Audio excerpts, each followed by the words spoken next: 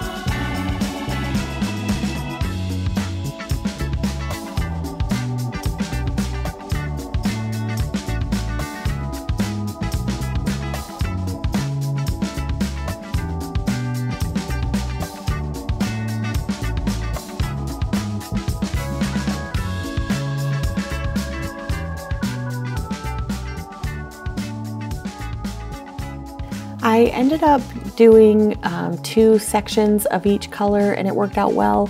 Uh, my dark turquoise wasn't really showing up, so I ended up adding some more and putting it through my canvas.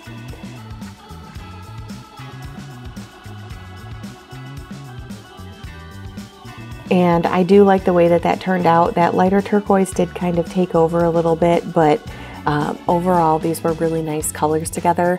And of course, I really like the way that the gold is. But once I had my colors poured into each of the slots, I just used one hand to hold onto the funnel and the other hand to gently start lifting up the, um, the portion part. And then I just started slowly moving my funnel throughout the canvas.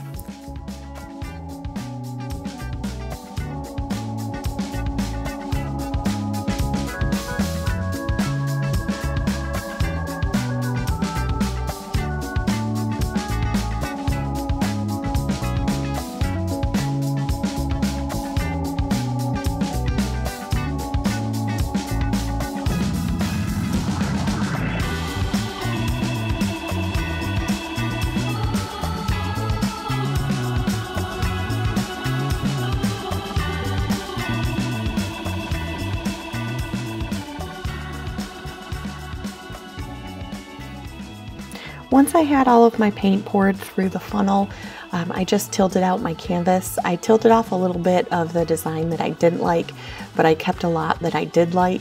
And just letting it sit and dry, a lot of cells popped up. And that's all just with the Floetrol. So you can get cells without silicone, um, just Floetrol and water worked for me. But if you want more cells in this, you could always add just a drop of silicone to one of your colors and then see those cells pop while you are letting it all dry.